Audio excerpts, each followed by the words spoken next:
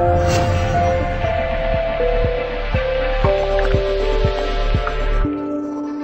it's Mark Podolsky, the Land Geek. Let's have a virtual cup of coffee together. Today, I'm honored, privileged to have a new aspect of coffee talk with the owner of blackbeardland.com, Phil Tortorici. Phil, how are you?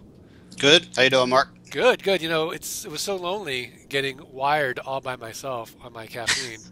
and now I've got you. I'm glad to help. So Phil and I are regularly going to have these little coffee talk tips to help you with your land investing. Phil's been investing for how long? You been investing now? Uh, about eight months. Eight months, and he's crushing it. So whom better to talk with than someone that's in it just like me, and we can talk about what's going on in our land investing businesses and give you quick tips. So we're going to try to keep these at two to three minutes. This one's probably going to be a little longer, but just bear with us. It's our first one, um, and I know it's probably going to suck, but that's another thing. you know, we got to embrace the suck. We'll get better as we go. So, Phil, we were just talking about it. What's going on with time management? How do you manage your time? Uh, actually, not very well. Uh, I tend to just put a to-do list together the night before, and then I attack it the next morning. But uh, I would be better if I would break my time into specific things, like say, you know, 8 a.m. to 10 a.m. I'm going to focus on marketing, and 10 a.m. to 12 I'm going to focus on um, acquiring properties or, you know, letter campaigns, whatever it is. Uh, right now, I don't do that, so I tend to be. I tend to let the you know whatever the hot topic of the day kind of direct me. Right. Which now, is bad, which you, is bad. Do you close out your email and do you turn your phone off, or do you have those on during I, during your I, day? Yeah, I do have them on, but and I try not to let email or stuff like that sidetrack me. So I'm, I'm pretty good at, at ignoring that. Right. But but you know I can't say with all honesty that I don't let it affect me. So yes, there are times when I should shut it off and just focus. Yeah, I, I mean I, I kind of do something similar.